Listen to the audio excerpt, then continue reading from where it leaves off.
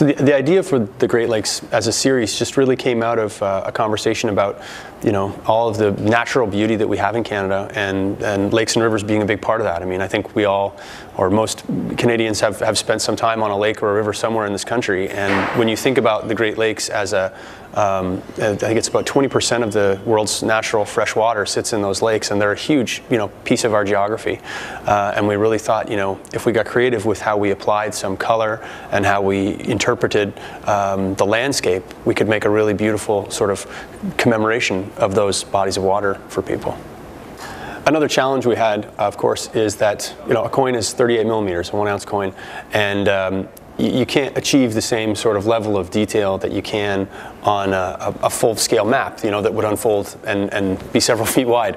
Uh, obviously, the, the, scale just, just doesn't work. So we had to work really hard to, to make our interpretations as true as we could to the data, but also make sure that we ended up with a coin that looked good and would, you know, be a, a good keepsake for people. When you're striking a coin, the metal has to have movement. Um, the different parts of the design have to fill properly. They have to create a nice even surface.